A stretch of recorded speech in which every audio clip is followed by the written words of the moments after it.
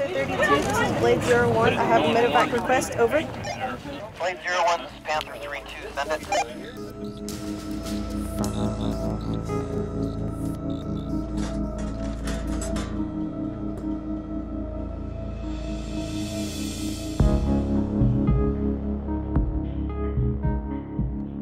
Today we're integrating the uh, National Guard group out of Spokane, Washington, uh, with uh, active duty component forces.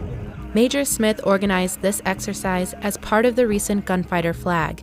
He invited a surgical team from Fairchild Air Force Base to train alongside his team from Mountain Home Air Force Base. This combined team had one primary goal in the field We are specifically required to stabilize a patient for transport to a tertiary facility. Before stabilizing the patients, they had to diagnose the injuries. Injuries that were replicated using moulage.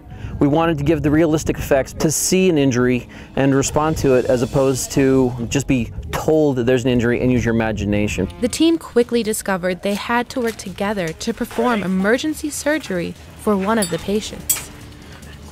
64, heart rate's Yeah, we'll put them back in, put the valves, stuff the valves. Integration with the Guard units, reserve units, active duty units um, is very important. I think just because when you deploy, everybody's there and you're expected to perform at the same level. So having practiced and played prior to deploying, it's nothing new when you get there. That makes transport and critical care easier, safer, and much better for the patient that we're taking care of. Teamwork paid off. The patient was declared stable for transport, and the exercise was complete. Honestly, I don't think it could have went any better. Great team both here at the Med Group for the support that they offered. Great team with the National Guard Group for uh, being willing to play with us.